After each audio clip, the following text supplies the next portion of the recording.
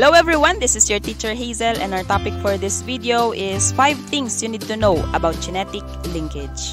So let's start first with a simple definition of linkage. When we say linkage, this is the presence in the same chromosome of two non-allelic genes affecting two traits.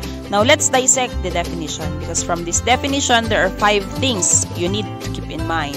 First thing you need to know is that there are two genes that are linked. Say for instance, we have here a chromosome. By the way, we have four chromosomes here. Chromosome 1, 2, 3, and 4. And you see that there are two genes present, gene 1 and gene 2. Notice that among these four chromosomes, only chromosome 1 contains the linked genes.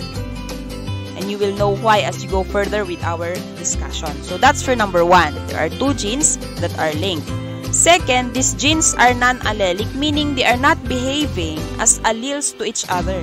As you can see, these genes 1 and 2 in the first chromosome do not share the same locus or location in the chromosome. Third, these non-allelic genes are present in the same chromosome. So in chromosome 1, genes 1 and 2 are in the, in the same chromosome. In chromosomes 2 and 3, the two genes are not linked, obviously because the genes are in different chromosomes which disqualifies them to be linked. And in the fourth one, the two genes are present in the same chromosome, but take note that the genes are not considered to be linked. So what do you notice from the illustration?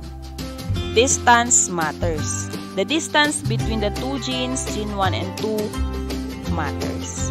In chromosome 1, they are uh, located very close to each other that makes it linkage to be possible because they will tend to be inherited together. In contrast to that, the genes in chromosome 1 in chromosome 4 rather are so far apart. They are relatively more distant, which makes it linkage to not be possible. And as a result, they will not be inherited together. Right?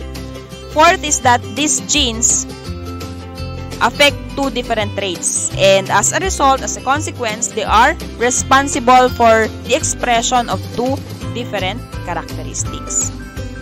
And fifth, linkage violates Mendel's law of independent assortment. Recall that when genes follow independent assortment, what happens is that their alleles sort into gametes independently of one another. In other words, the allele a gamete receives for one gene does not influence the allele received for another gene.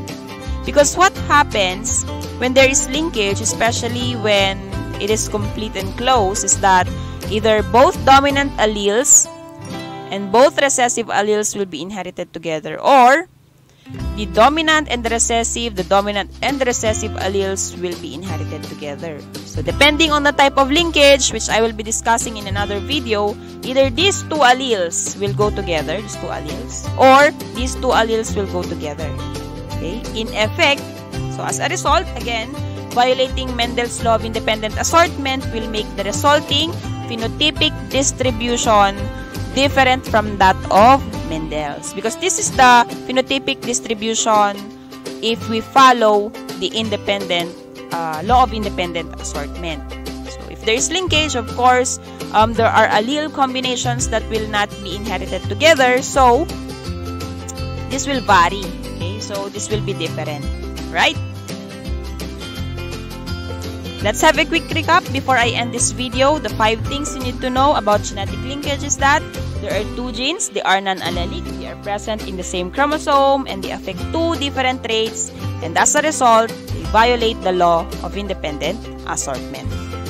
So that's all for this video. I am your teacher Hazel. Thank you very much for listening, and I hope you learned something.